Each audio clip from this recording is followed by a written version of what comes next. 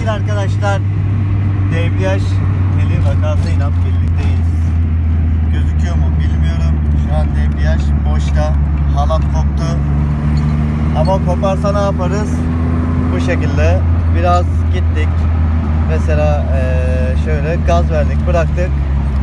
Boşluğunu alarak 3, 4 bunlar biraz rahat geçer ama 1, 2 bayağı sıkıntıdır zaten 1'e düşene kadar uğraştığınız zaman uğraşmıyorsunuz hiç vitese geçirmeye şanzıman dağıtırsınız maazallah. Stop ediyoruz. El, el freni çekmiyoruz tabi. Arabayı birinci vitese takıyoruz arkadaşlar.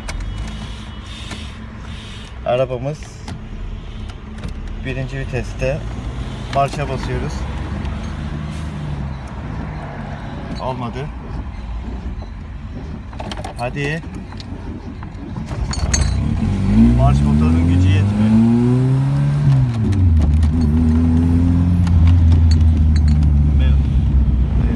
Bir sene falan olmuştu bu teli değiştireli ama koktu işte. Aslında hiç zorlanma, sertleşme de yoktu. Yumuşacıktı ama koktu. Demek ki olabiliyormuş öyle şeyler. Daha önce kanalımda debriyaj hal- halatı videosu vardı yanlış hatırlamıyorsam. Debriyaj halatı, debriyaj teli nasıl değiştirilir adında.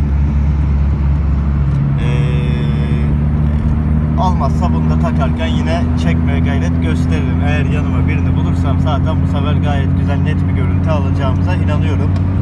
Eğer kimse yoksa da birini bulamazsak da mecburen çekemem. Çeker